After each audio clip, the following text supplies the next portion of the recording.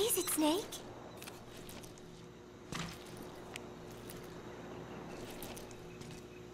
Gallo Pinto! Amanda and I taught Cecile how to make it. She picked it up so fast. I was really surprised. I guess Parisians have cooking in the blood. Are Cecile and Amanda doing okay? I wonder why they haven't visited. I'm sorry, Snake. My head hurts. Could you let me rest?